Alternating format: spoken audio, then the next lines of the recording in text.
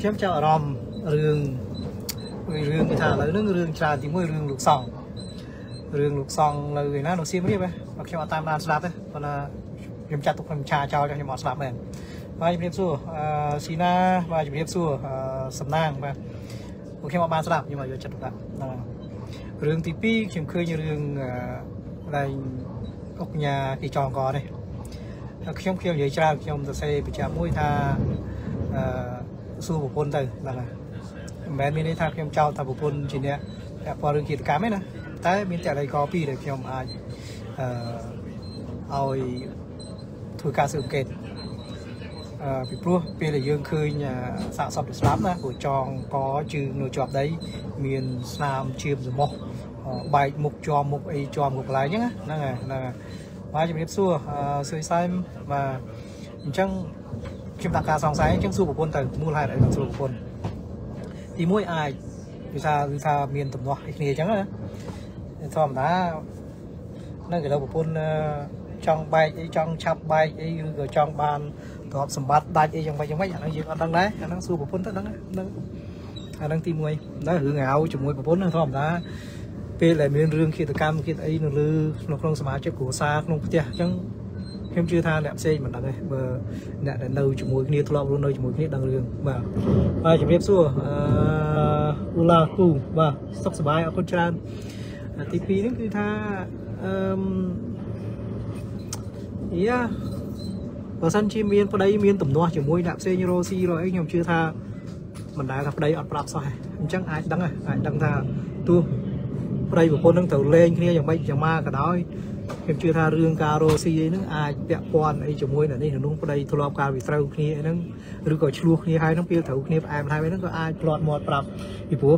ប្តីប្រពន្ធរឿងខ្ញុំជឿអញ្ចឹងអ្នកដែលមានប្រពន្ធហើយយើងខ្ញុំជឿថាអ្នកដែលមានប្រពន្ធប្រាប់ប្រពន្ធណាអ្នកដែលមានម៉ែឪនៅជាមួយម៉ែឪប្រាប់ម៉ែឪមុនណា ហ្នឹងហើយអ្នកដែលមានមិត្តភ័ក្តិនៅក្បែរប្រាប់មិត្តភ័ក្តិក្បែរទុកចិត្តហើយអញ្ចឹងអាចអញ្ចឹងឯងហ្នឹងហើយហើយជំរាបសួរអ្នកមីងសំខាន់នេះបាទរីករាយអ្នកមីងបាទហ្នឹងហើយខ្ញុំបាទសុខសប្បាយអ្នកមីងហ្នឹងហើយអញ្ចឹងបាយសួរច្រើនណាស់សួរតែប្រពន្ធនោះដឹងហើយហ្នឹងហើយឥឡូវយើងរឿងគេរឿងអត់នោះវាអត់មានអីសំខាន់ទេគាត់គ្រាន់ថារឿងស្រុកខ្មែរបលីស្រុកខ្មែរធ្វើការអញ្ចឹងហ្នឹងហើយមិនមែនជាករណីទី1ទេណាសូម្បីរឿងលោកបណ្ឌិតកែមលីស្លាប់ច្បាស់កឡែត នៅគេដោះសាររួចលោកជុតវិធីក៏នៅគេដោះសាររួចណាប្រសង់សំបន្ទឿនក៏នៅគេដោះសាររួចណាយើងឃើញបងជាវិជាសពយ៉ាងទាំងអស់អញ្ចឹងបងប្អូនមិនឆ្ងល់រឿងសពខ្មែរហើយជាភាសាហ្នឹងគឺតាក់ទងជាមួយពួកអុកញ៉ាអុកញ៉ាច់អីនេះរឿងលុយរឿងកាក់យើងគិតថាយុទ្ធធម៌ពិតគឺអត់បានទេរកបានទេហ្នឹងហើយឲ្យលុយទៅប៉ូលីសទៅកិច្ចកម្មរឿងអីគេដោះស្រាយគេបំភ្លៃ ភ័ស្តុតាងហ្នឹងហើយឥឡូវប៉ូលីសគេថាស្លាប់ដោយសារចងកទៅចងកគឺចងកហ្នឹងវាប៉ុណ្ណឹងចាំមើលរឿងចឹងចឹងធ្លាក់ទៅដែលគ្រួសារប៉ូលីសគ្រួសារពួកអីផ្សេងផ្សេងទៀតចាំមើលវាគិតយ៉ាងម៉េចចង់ចង់យ៉ាងម៉េចក្រៅពីហ្នឹងខ្ញុំចង់បញ្ជាក់ថាមនុស្សស្រុកខ្មែរអញ្ចឹងស្លាប់ទៅគឺថោកមិនស្មើសត្វស្រុកនេះទេចង់បញ្ជាក់បងប្អូនចឹងគឺស្លាប់ទៅគឺអត់ស្មើនឹងសត្វស្រុកនេះណាវាវាអត់តម្លៃហ្នឹងហើយឋានៈដកបញ្ញា ងាប់ចោលទៅទេហើយចងកយ៉ាងចឹងអីយើងជឿហ្នឹងហើយយើងយើងគិតមើលហ្នឹងហើយអាហ្នឹងយើងមិនបាច់និយាយថាដល់ពួកអ្នកប្រឆាំងអ្នកដែលប្រឆាំងផលប្រយោជន៍ពួកហ៊ុនសែនពួក CV ដូចបងជាវិជាដូចអ្នកសកម្មជនគណៈបកប្រឆាំងសង្គ្រោះជាតិគណៈបកភ្លើងទៀនគណៈបកផ្សេងផ្សេងទៀតឬក៏អ្នកកសែតដែលស្រឡាញ់ជាតិអ្នកបរិស្ថានអ្នកអីយើងមិនបាច់និយាយសូម្បីតែពួកបកប្រជាជនគ្នាវាក៏ងាប់ទៅដូចសัตว์ដែរហ្នឹងហើយ អត់មានតម្លៃហើយខ្ញុំជឿថាអ្នកអុកញ៉ាហ្នឹងអុកញ៉ាហ្នឹងគ្រប់ត្រូលហើយអ្នកប្រឆាំងនេះព្រោះភាគច្រើនអ្នករស់ស៊ីធំធំមានលុយមានកាំងគ្រប់គ្រងគណៈបព្វជិជននិងសមាជិកគណៈបព្វជិជនអញ្ចឹងយើងមើលពួកវាធ្វើគ្នាស៊ីងាប់ដូចសត្វឆ្កែហ្នឹងគ្មានតម្លៃអញ្ចឹងគ្រាន់តែនឹងជាសារមួយទៅប្រាប់បងប្អូនទាំងឡាយដែលគ្រប់គ្រងបព្វជិជនអាហ្នឹងគួរយល់មិនថាអ្នកឯងបកណាទេងាប់អញ្ចឹងណា តែមិនស្រួលគឺងាប់ដូចអន់ជាងជាងឆ្កែទៀតខ្ញុំចង់និយាយថាងាប់អន់ជាងឆ្កែជាងឆ្មានៅស្រុកនេះស្រុកសេរីទៀតណាអន់អន់ជាងឆ្កែណាអន់ជាងឆ្កែណាហ្នឹងហើយហ្នឹងហើយអញ្ចឹងត្រូវគិតបើយើងមិនគិតពីជីវិតខ្លួនឯងពីតម្លៃខ្លួនយើងជាមនុស្សកូនចៅយើងជាតិសាសយើងទេហើយយើងនៅអបកសោបដើម្បីតែផលប្រយោជន៍របៀបរបៀបហ្នឹង ងាប់ទៅអត់ស្មើសัตว์ងាប់អត់ស្មើសัตว์ចឹងអាហ្នឹងខ្ញុំចង់បញ្ជាក់ចឹងទ្រព្យសម្បត្តិវាអត់ស្មើនឹងកិត្តិយសហ្នឹងហើយយើងចង់បានអញ្ចឹងចឹងក៏យើងដល់ពេលយើងរងទុកអញ្ចឹងមានយុត្តិធម៌ឯណាហ្នឹងហើយមកជម្រាបសួរបងអូសម្ដេចមហាធិបតីសាំងយូអែលអេទៅដល់ណាអ៊ីស្តានបុលហើយចាំមិនដែរសាររបៀបនៅហ្នឹងហ្នឹងហើយប្រយ័ត្នអាទូគីវា សើកចាប់បញ្ជូនទៅហ្នឹងហ្នឹងហើយប្រយ័ត្នយាយហ្នឹងហើយបាទអឺឥឡូវយើងចូលរឿងហ៊ុនសែនតិចអឺរឿងហ៊ុនសែនអួតបងប្អូនមើលឃ្លីបហ៊ុនសែនណាហ៊ុនសែនឃ្លីបខ្ញុំខ្ញុំស្ដាប់ព្រឹកម្សិលមិញហ៊ុនសែនអួតថាអឺមិនដឹងគេខ្ញុំអត់ដឹងថាហ៊ុនសែនទៅនិយាយទៅណាប៉ុន្តែខ្ញុំស្ដាប់ឃ្លីបម្សិលមិញគេថាខ្មែរយើង មានសមត្ថភាពជាងពួកអាស្បែកសពួកអារ៉ុបពួកអាប្រទេសជឿនលឿននឹងទៅទៀត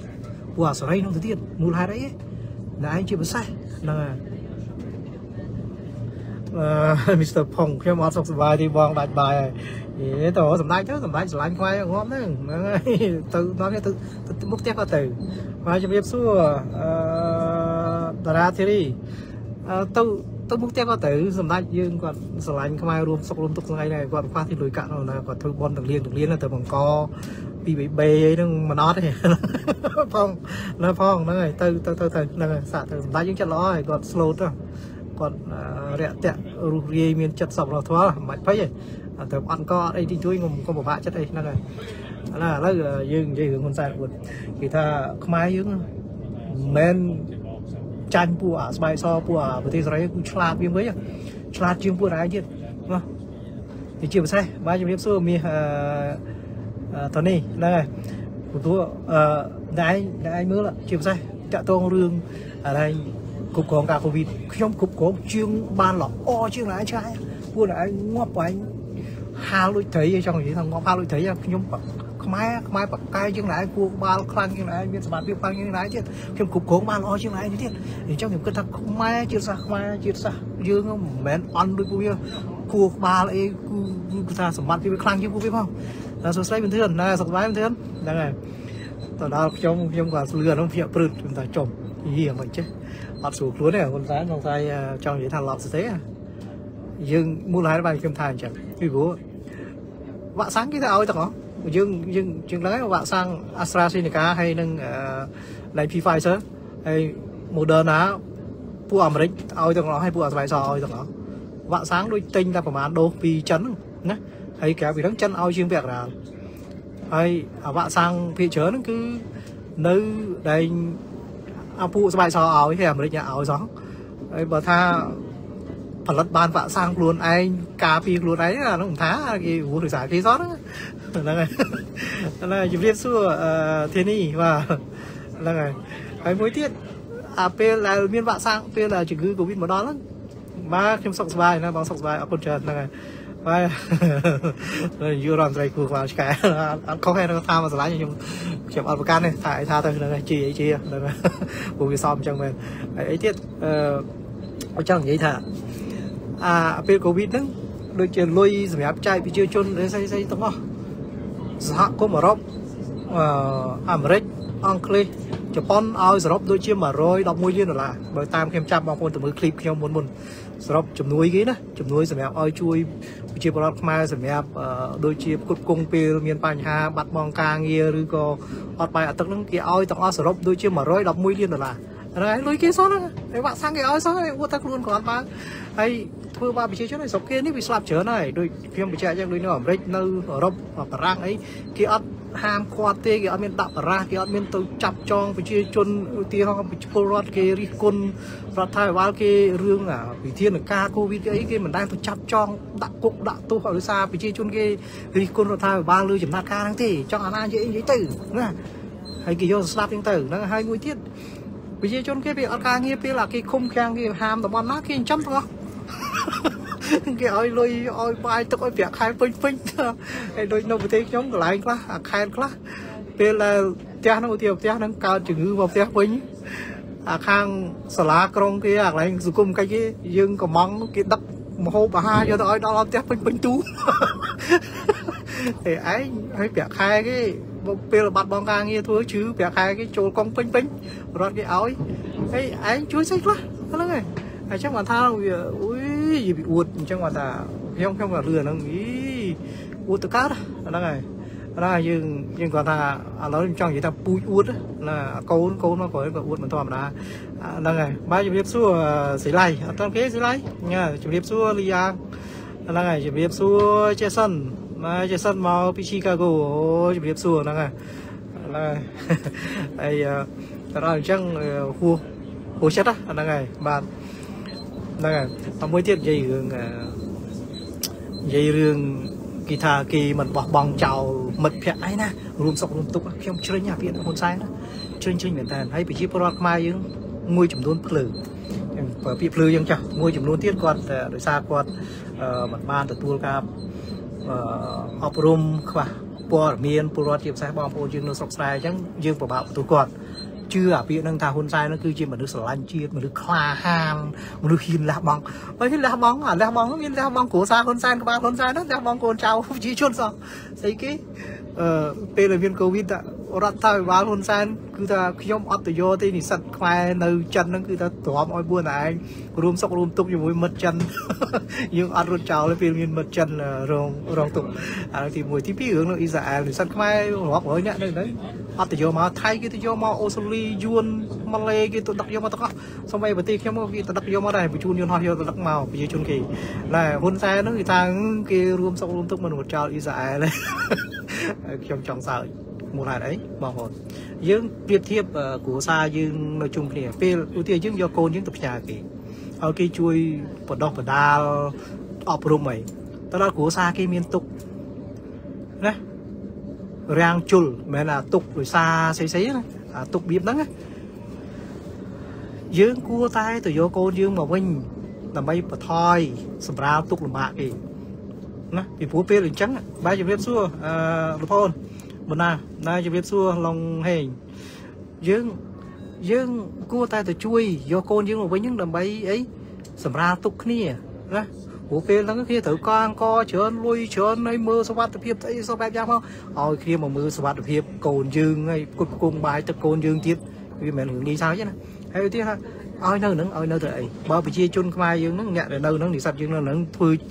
មានលទ្ធភាពធ្វើជាទាហានទៅធ្វើទាហានជួយច្បាំងអ៊ីស្រាអែលអាហ្នឹងមិនដែរនៅដេកចំតាត់គ្នាដេកចំតាត់ភ័យកិច្ចក្របហើយចាំឲ្យអាអ៊ីស្រាអែលគ្នាមើលថែឲ្យបាយឲ្យទឹកខែសវត្ថភាពរកកន្លែងសវត្ថភាពដឹកជញ្ជូនពីមួយកន្លែងទៅមួយកន្លែងដើម្បីសវត្ថភាពឲ្យពេលយើងមិនល្អត្រង់ណាហ្នឹងអាហ្នឹងយើងចង់និយាយថាពេលដែលយើងមិនអាចជួយនៅកន្លែងហ្នឹងបាន យើងកុំដាក់បន្ទុកគ្នាយកទៅដោះជួយបន្ទុកគ្នាអាហ្នឹងទី1ទី2បើយើងគ្មានលទ្ធភាពដូចជាផ្ដល់ជួយស្បៀងជួយហិរញ្ញបន្ទុកទៅឲ្យមិត្តរបស់យើងកុំពេលដែលគ្នាមានទុកហើយมันអាចជួយអីផ្សេងទៀតបានកុំដាក់បន្ទុកគ្នាបន្ថែមណាដាក់បន្ទុកគ្នាបន្ថែមអាហ្នឹងអញ្ចឹងណាអញ្ចឹងបានថាពលរដ្ឋខ្មែរយើងជឿពាក្យហ៊ុនសែនអាហ្នឹងពាក្យឈួតហ៊ុនសែនអត់លះបង់មិត្តអត់លះបង់អីប៉ុន្តែមានកូនហ៊ុនសែនចៅហ៊ុនសែនក្បាលហ៊ុនសែនទៅ រួមសុខរួមទុកជាមួយណាបញ្ជូនកូនវិជាបរដ្ឋខ្មែរគ្នាអត់ដឹងអីដែលគ្នាទៅរៀនដោយសារអីគេផ្ដល់ហារូបករណ៍ផ្ដល់អីឲ្យហើយយកគ្នាទៅលះបង់ជីវិតដើម្បីអញ្ចឹងហើយថាខ្លួនដើម្បីថាខ្លួនឯងនឹងវាអស់ចាស្មោះត្រង់ឬក្លាហានលះបង់មានការលះបង់អាហ្នឹងរឿងខុសហ្នឹងហើយពូកាន់បានបានប្រមាណវត្តមានវត្តណាស៊ីឡៃនេះអត់មានវត្តទេហ្នឹងហើយប៉ុន្តែវិញសមហើយជាស្អែកខាងស្អែកនឹងវិញសមដែរស៊ីឡៃវិញហើយនៅហ្នឹងហើយ ហ្នឹងក៏ចង់បញ្ជាក់អញ្ចឹងអញ្ចឹងរឿងខុសរឿងហ្នឹងហើយខុសរឿងហើយខ្ញុំក៏ចង់បញ្ជាក់ដែរថាបើសិនជាហ៊ុនសែនស្រឡាញ់ខ្មែរមិនចង់ឲ្យខ្មែរចង់និយាយថារួមសុខរួមទុកពិតជារួមសុខរួមទុកជាមួយខ្មែរចង់រួមសុខរួមទុកជាមួយមិត្តអីមុនដំបូងហ្នឹងហ៊ុនសែនទៅរួមសុខរួមទុកជាមួយខ្មែរគ្នាឯងហ្នឹងទៅជាផ្សាយជាជាជាក់ស្ដែងបាទជំរាបសួរប្រាថ្នាណាជំរាបសួរតាំងសារដាសារដាសារដាអូ នសារដាទេអូនសារដាព្រោះឥឡូវនេះបាក់ ID ច្រើនពេកសារដា ID ច្រើនពេកណា ID តាំងសារដាមកឃើញចូលមកច្រើនណាស់មិនដឹងបងអនឡាញពិតអីក៏មែនដែរនេះណាឥឡូវមើលសិនហ្នឹងហើយចាំ check មើលតាមក្រោយហ្នឹងហើយហ្នឹងអរគុណច្រើនរីករាយបងខ្ញុំបានហ្នឹងអូនហ្នឹងហើយហ្នឹងហើយហើយយើងយើងចង់និយាយថាអឺបើសិនជាហ៊ុនសែនអឺចង់និយាយថាស្មោះស្ម័គ្ររួមសុខរួមទុក្ខជាមួយមិត្ត អញ្ចឹងមុនដំបូងហ្នឹងត្រូវតែរួមសុខរួមទុក្ខជាមួយជាតិសាសន៍ខ្លួនឯងសិនហើយជាភាសាហ្នឹងគឺថាមិនសើចឡើយជាភាសាហ្នឹងគឺថាខំបង្កើតការងារក្នុងស្រុកទៅឲ្យប្រទេសជាតិមានសេដ្ឋកិច្ចល្អពលរដ្ឋខ្មែរយើងមានសេដ្ឋកិច្ចធូរធារហើយហ្នឹងហើយមកខាងនេះដល់មួយថ្ងៃមួយខាងនេះឲ្យមានការងារធ្វើទៅកុំឲ្យកូនចៅខ្មែរយើងនឹងគាត់ព្រាត់ប្រាក់គ្រួសារទៅទៅកាជះគេខ្ញុំគេបែកបាក់យើងឃើញមកភូមិទៅមកភូមិស្ងាត់ចឹក ណាស្ងាត់ទាំងអស់ហើយហើយរួមសក់រួមទុកអីយ៉ាងម៉េចបញ្ជូនអត់ខិតខំកសាងប្រទេសជាតិអត់ខំគាត់ខិតខំអីបំបត្តិបំបត្តិអំពើពុករលួយរៀបចំប្រទេសសាស្ត្របាតបង្កើតការងារប្រជាជនខ្លួនឯងធ្វើតម្លើងប្រាក់ខែនៅសំរុំ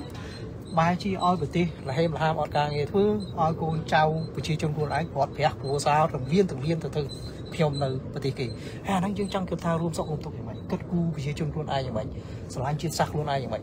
ស្មោះស្ម័គ្រមួយជួយជាតិសាសន៍ខ្លួនឯងយ៉ាងម៉េចយើងមើលឃើញប្រជាជនខ្មែរយើងតែទៅធ្វើខ្ញុំគេនៅថៃវេទនាយ៉ាងម៉េចទៅប្រទេសផ្សេងដូចជាកូរ៉េជប៉ុនក៏គ្នាអត់ស្រួលដែរពួកគាត់អត់ស្រួលដែរពិបាកវេទនាណា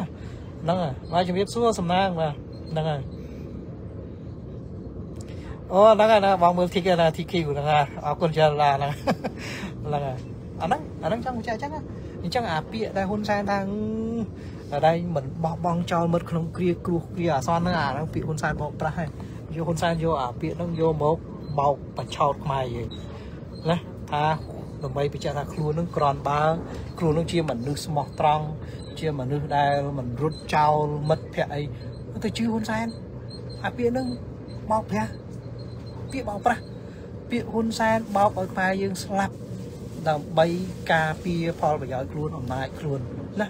មិនមែនផលប្រយោជន៍ប្រទេសជាតិហើយមិនមែនរឿងពាក្យដែលហ៊ុនសែនស្រឡាញ់ខ្មែរពិតប្រាកដណា អារឿងខុសហ្នឹងហើយ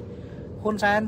អត់មានខំស្មៅជាមួយយើងទេណាពួកហ៊ុនសែនដេកក្នុងវិឡាលុយវិឡាក្នុងវិឡារាប់ពាន់រាប់លានយើងឃើញទ្រព្យសម្បត្តិឥឡូវយើងឃើញហើយបងតាំងសារ៉ានេះធ្លាប់ផ្សាយហ្នឹងទ្រព្យសម្បត្តិហ៊ុនសែនអត់មានក្រុម6000លានដុល្លារទេរហូតដល់ពេលនេះគេធ្វើការព្យាករហ្នឹងហើយអញ្ចឹងយើងឡើងណាអាហ្នឹង ឈប់ចាញ់បោកហ៊ុនសែនទៅអាពាក្យហ្នឹងខ្ញុំជ្រិញហើយបងប្អូនចាំសួរសួរហ៊ុនសែនកាលរដ្ឋបហា97អាហ្នឹងជាមួយសួរមួយពួកបកប្រជាជនអាហ្នឹងរដ្ឋបហាផងហើយរដ្ឋបហាដណ្ដើមអំណាចអាហ្នឹងកាលពី97ហ៊ុនបាលហ៊ុនសែននោះណាហ៊ុនសែននៅចំតិតនៅយូរនោះសេវិជាមកពីយូរនោះអត់មានងាប់រួចជាមួយពួកអបប្រជាជននៅក្នុងស្រុកទេណាហើយចាញ់បោកហ៊ុនសែនណាជាភាសាបងប្អូនយុវជនក្រោយទេអត់ដឹកនៅស្រាវជ្រាវតិចទៅសួរមើលហ៊ុនសែនកាលហ្នឹងបើសិនជាកាលហ្នឹងបើធ្វើរដ្ឋបហាទៅចាញ់ហ៊ុនសែនអត់ដេកចំតិតនៅយូរនោះ ងាប់អាពូបវិជនដែលច្បាំងបដូរឈាមដោយសារពាក្យឈួតរបស់ហ៊ុនសែនបោកប្រាស់ហ្នឹងងាប់ឲ្យខ្ទេចហ្នឹងបើសិនជាហ៊ុនសម្បត្តិវាយឈ្នះហ្នឹងហើយបើតែសំដាងឈ្នះឈ្នះពួកហ៊ុនសម្បត្តិក៏បានការអំណាចទៅមកត្រឡប់មកស្រុកខ្មែរការអំណាចតែខ្លួនជាវីរៈបរោះអីចឹងទៅបន្លំបោកប្រាស់អីចឹងទៅណាយើងយើងយើងគិតចឹងហ្នឹងហើយមនុស្សហ៊ុនសែនមនុស្សបោកហើយកូនក្រោយនេះម៉ណែនេះក៏បោកហ្នឹងហើយបោកស្លាច់បោកស្លាច់អួតស្លាច់បោកស្លាច់អួតហ្នឹងហើយ មួយទៀតចុងក្រោយណាខ្ញុំនិយាយតិចហ្នឹងណាចុងក្រោយរឿងហ៊ុនសែនគេអំពាវនាវពួកឲ្យពួក Hamas ដោះលែងហៅចំណាប់ខ្មាំងដែលចាប់ជនជាតិអ៊ីស្រាអែលហើយ100នាក់ដោះលែងទៅវិញចង់ចង់គិតមកហ៎បងប្អូនគិតមកខ្ញុំខ្ញុំលឺអាពាក្យហ្នឹងខ្ញុំគិតថាហ៊ុនសែនមនុស្សឡប់សតិហើយកំពុងតែយល់ច្រឡំខ្លួនឯងហ្នឹងថាជា ដូចមហាអំណាចដូចអាមេរិកដូចអានេះដូចចិនដូចអាល្លឺម៉ង់ដូចអង់គ្លេសដូចបារាំងអីដែរហ្នឹងពុករីសម័យចង់និយាយថាពួកអាហារម៉ាំងវាមិនស្គាល់ណាសំទោសបងប្អូនចូលអឺរូងភ្នំវាដាច់ដាច់សេវាហ្នឹងហើយអញ្ចឹងចឹងនិយាយពួកហ្នឹងវាអត់ស្គាល់ហ៊ុនសែនជាណាផងហ្នឹងអត់ស្គាល់ទេហ្នឹងហើយណាសំទោសហ្នឹងហើយអឺ វាចូលចូលក្រោមផ្លូវផ្លូវរថភ្លើងនេះចូលដល់ក្រោមរូងភ្នំច្រើនអញ្ចឹងពួកអាអាភាវនកម្មដែលនៅខាងហាម៉ាស់នឹងពួកហាម៉ាស់នឹងវាអត់ស្គាល់ហ៊ុនសែនទេណាហ្នឹងវាមិនស្គាល់ទេហើយបាច់និយាយណាទេសម្បីតែប្រទេសជុំវិញនៅអាស៊ីប្រជាជនមួយចំនួនអត់ស្គាល់ហ៊ុនសែនទេណាផងខ្ញុំចង់និយាយចឹងហើយ ពងដីសម័យតែខ្លួនឯងនឹងជាមីដឹកនាំអីជាជូបៃដិនសីជាអូឡាបសូលអីហ្នឹងហើយជាហ្នឹងមកមកក្រនអីហ្នឹងហ្នឹងហើយវាសើរឿងធ្ងន់ធ្ងរហ្នឹងតែច្រឡំហ្នឹងហើយហើយមួយទៀតចេះនិយាយទៅរួចខ្លួនឯងរងថ្ងៃធ្វើនយោបាយថោកទៀតអានេះពួកអាភិបនកម្មនេះវាចាប់ចាប់ជនជាតិអ៊ីស្រាអែលធ្វើជាចំណាប់ខ្មាំងដើម្បីផលប្រយោជន៍នយោបាយពួកវាជាសាផ្សេងគ្នា ហ្នឹងតែខ្លួនឯងចាប់ចម្រិតជាតិសាសន៍ខ្លួនឯងបកប្រឆាំងណាបកចំទាស់សកម្មជនសិទ្ធិមនុស្សសកម្មជនបរិស្ថានណាថ្នាក់ដឹកនាំសហជីពកម្មករអ្នកការពារសិទ្ធិសេរីភាពការពារផលប្រយោជន៍ប្រទេសជាតិទាំងអស់ហ៊ុនសែនណារងើបមួយយើងឃើញជាប់គុកប៉ុន្មានហ្នឹងហើយណាឃើញចាប់ចម្រិតជាតិសាសន៍ខ្លួនឯង ដើម្បីផលប្រយោជន៍នយោបាយខ្លួនឯងឃើញជាប់គុករហូតហើយដូចខ្ញុំបញ្ជាក់អត់បងប្អូនចង់ដឹងប្រទេសណាសេរីឬមិនសេរីបងប្អូនមើលតែអ្នកទូទៅនៅប្រទេសសេរីបងប្អូនមានដូចជប៉ុននៅអាមេរិកនៅអឺរ៉ុបតើដែលមានអ្នកនយោបាយណាសពលរដ្ឋណាឬសកម្មជនសិទ្ធិមនុស្សសកម្មជនបរិស្ថាន សកម្មជនការងារសង្គមផ្សេងផ្សេងណាមួយត្រូវបានរដ្ឋាភិបាលឬរបបគ្រប់គ្រងនៃប្រទេសគេហ្នឹងចាប់ដាក់គុកដោយសារតែមតិនិងទស្សនៈរបស់ខ្លួនទេមិនថាចង់និយាយអាក្រក់មិនចង់ថារិះគន់អីទេអត់មានទេលើកលែងយើងទៅប្រើហិង្សាទៅបំផ្លាញទ្រព្យសម្បត្តិសាធារណៈឬក៏ទៅប្រើអំពើហិង្សាលើបុគ្គលណាមួយឬក៏ស្ថាប័នណាមួយ អានឹងទើបយើងមានទោសតែបើត្រឹមតែនិយាយរិះគន់ធ្វើសកម្មភាពដោយសម្លេងដោយវោហាដោយមានតលហីកអត់ដូចជាអត់ដែរមានហើយយើងមើលសុកខ្មែរយើងមើលមើលអនាគតបកសង្គមជាតិបកជំទាស់វាយ៉ាងម៉េចមើលថ្នាក់ដឹកនាំមើលសកម្មជនត្រូវបានគេលួចវាយវាយរហូតដល់តំណាងវិញយើងមើលដូចជាលោកបណ្ឌិតកែមលៃដូចជាលោកឈុតពិធីដូចបងជាវិជា ផ្សេងផ្សេងទៀតស្លាប់រងគ្រោះជាប់គុកឥឡូវយើងឃើញតើវាយ៉ាងម៉េចហើយតើដែលមានប្រជាពលរដ្ឋណាត្រូវបានគេគំរាមកំហែងរត់ដេញគេគំរាមកំហែងកាប់សម្លាប់ធ្វើឲ្យរត់ចោលស្រុកព្រាត់ប្រាស់គ្រួសារបែកកូនបែកចៅដែលយើងហៅថាប្រទេសសន្តិភាពប្រទេសមានសិទ្ធិសេរីភាពវាអត់មានយើងដែលឃើញពួកអសិង្ហបុរីយើងដែលឃើញពួកជប៉ុនពួកកូរ៉េខាងត្បូង ពួកសហគមន៍អឺរ៉ុបបារាំងអាល្លឺម៉ង់អង់គ្លេសអាមេរិកកាណាដាអូស្ត្រាលីញូហ្សេឡង់ប្រជាជនវាដែលជាអ្នកនយោបាយឬដែលជាអ្នកគ្រប់គ្រងបកនយោបាយ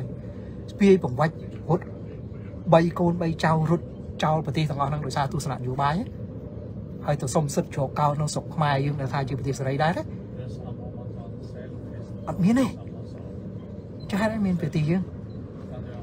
អាហ្នឹងបងប្អូនយល់ហើយ អញ្ចឹងពួកផ្ដាច់ការមនុស្សទុច្ចរិតដូចហ៊ុនសែននេះគឺថាធ្វើនយោបាយទុច្ចរិតចាប់ចម្រិតជាតិសាសន៍ខ្លួនឯងធ្វើបាបជាតិសាសន៍ខ្លួនឯងដើម្បីផលប្រយោជន៍នយោបាយរបស់ខ្លួន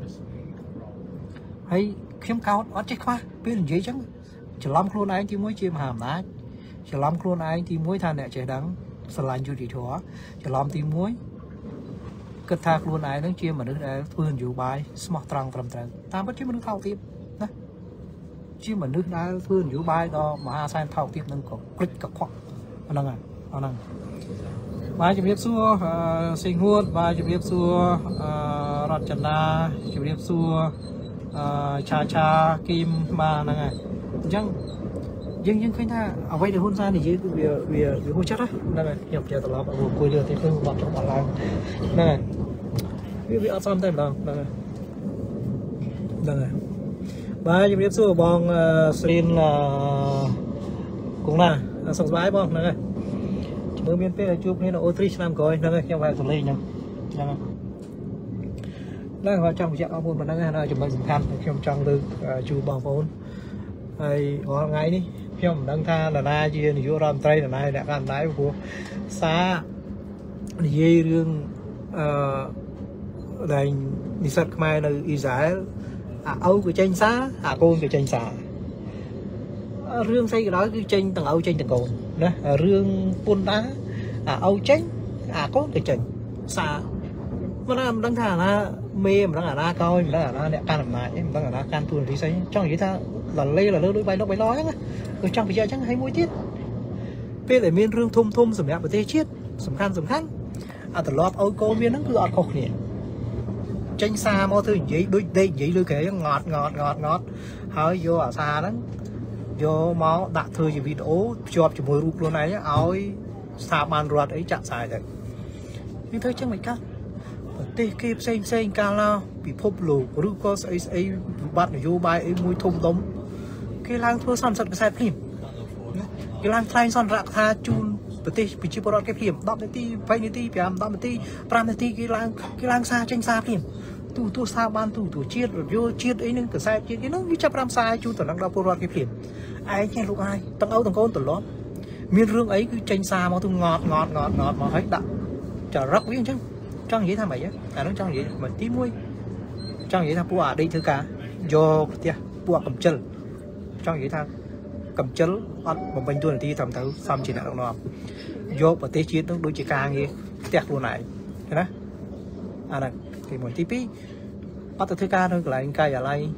យុរដ្ឋមន្ត្រីហៅអីសុខខ្មែរយើងហៅវិមានសន្តិភាពហ្នឹងតាមពិតទៅទៅធ្វើការនោះហ្នឹង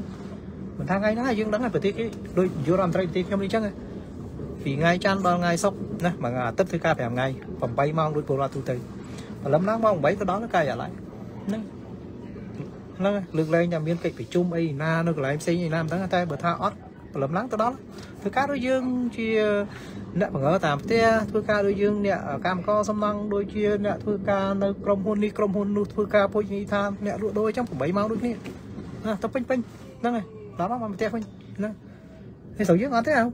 អូកូននឹងនៅដេកចំតិននៅផ្ទះអាហ្នឹងយើងត្រឡប់ហ៊ុនសែនអញ្ចឹងតាំងពីដើមមក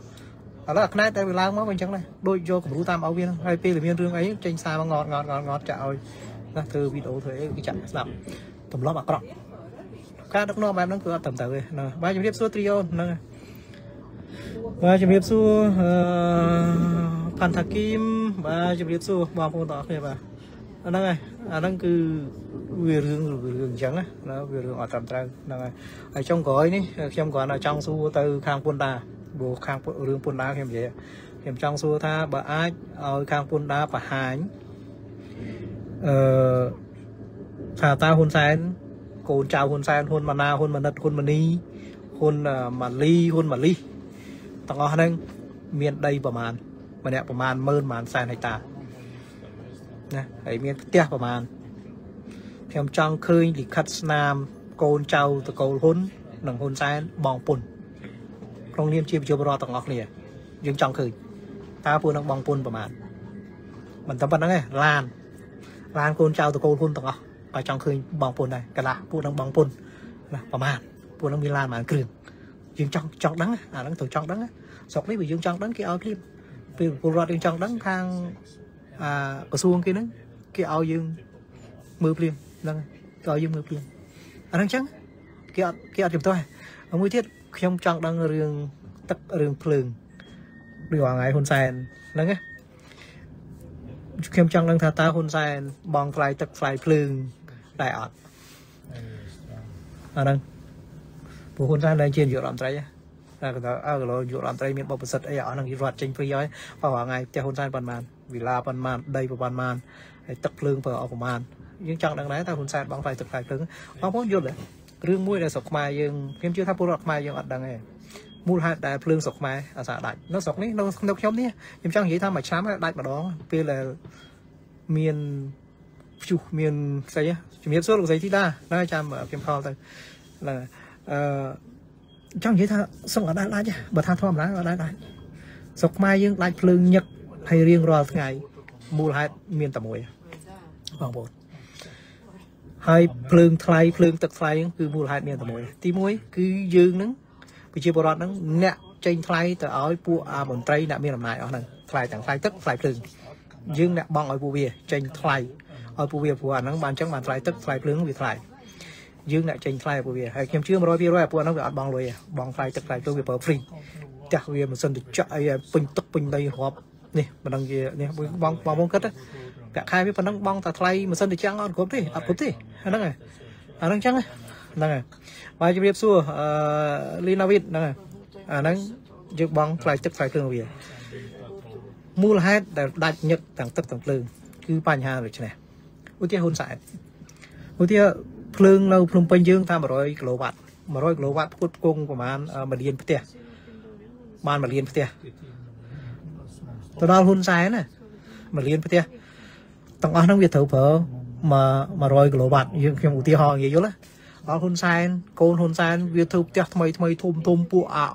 មន្ត្រីទាំងអស់ហ្នឹងវាធ្វើផ្ទះធំធំវាបកកើម៉ាស៊ីនត្រជាក់ផ្សំម៉ាស៊ីនអីវានៅប្លុកទួលកកវានៅប្លុកអឺ ដែលចកាមួននៅប្លុកប្លុកខុសគ្នាអញ្ចឹងពួកអាហ្នឹងវាមានម៉ាស៊ីនកុំព្យូទ័រវាវា coordinate វាវាមើលអូខេហ៊ុនសែនឥឡូវខែឥឡូវក្តៅ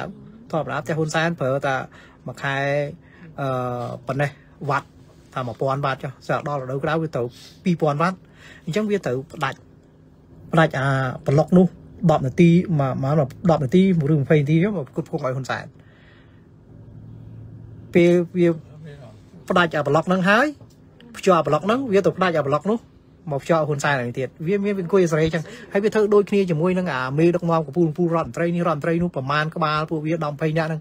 សម្រាប់គឺថាឲ្យ privilege អតិភិបបុព្វសិទ្ធពួកវាអាហ្នឹងអញ្ចឹងបានភ្លើងវាដាច់រហូតអញ្ចឹងវាអង្គុយពួកអស់ហ្នឹងវាដាក់ program វាឲ្យអស់មានអីវាសិតកុំព្យូទ័រអស់ហើយដល់ម៉ោងដើរដាច់មិនមិនឆ្លាស់គ្នាមិនចរន្តមិនដើម្បីគត់គង់ឲ្យហ៊ុនសែនគូសាហ៊ុនសែនកូនចៅហ៊ុនសែនពួកឲ្យអ្នកមាននេះអ្នកមាននោះ អញ្ចឹងអញ្ចឹងអាចរន្តនោះវាលូតអញ្ចឹងអញ្ចឹងដើម្បីគត់គង់អញ្ចឹងឃើញសុខទេវាអត់មានទេបងមិនបាច់ត្រឹមណាត្រឹមថៃត្រឹមយួនមកហ៊ុនហ្នឹងវាអត់មានដាច់រាល់ថ្ងៃអញ្ចឹងទេហើយកម្រយើងយើងឃើញអញ្ចឹងបងប្អូនវាវាងាយងាយផុតហ្នឹងហើយអញ្ចឹងអាពួកអស់ហ្នឹង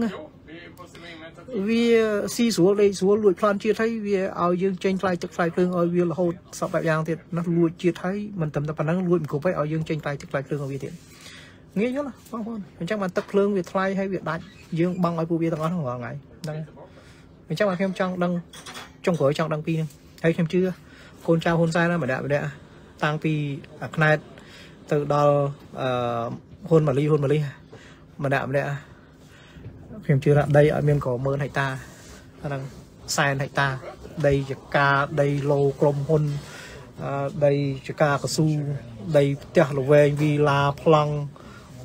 អត់តិចទេហ្នឹងរាប់សែនហិកតាម្នាក់ម្នាក់ហ្នឹងហើយបាច់ឆ្ងល់អីទេហ្នឹងហើយហ្នឹងហើយហើយបើអាចហ្នឹងហើយយើងចង់ដឹងរឿងហ្នឹងហ្នឹងហើយខ្ញុំមានប៉ុណ្ណឹងអរគុណច្រើនបងប្អូនអរគ្នាហើយជម្រាបលាហើយជម្រាបលាលោកស្រីសុភាពអីទៅមកក្រោយហ្នឹងលាជម្រាបសួរវិជ្ជការហ្នឹងហើយជម្រាបសួរនៅដាច់ទឹកដាច់ភ្លើងបាច់ឆ្ងល់ហើយដាច់ទឹកដាច់ភ្លើងហ្នឹងហ្នឹងហើយ អឺបាយបាយលោកស្រីសុភាពជម្រាបលាបងប្អូនអរគ្នាហ្នឹងហើយអរគុណច្រើនហើយជូនពរឆ្នាំថ្មីហ្នឹងហើយខ្ញុំមិនទាន់បានវិញសមផងហ្នឹងហើយបាទជំរាបលាបាទបាទជំរាបសួរជីជនបាទ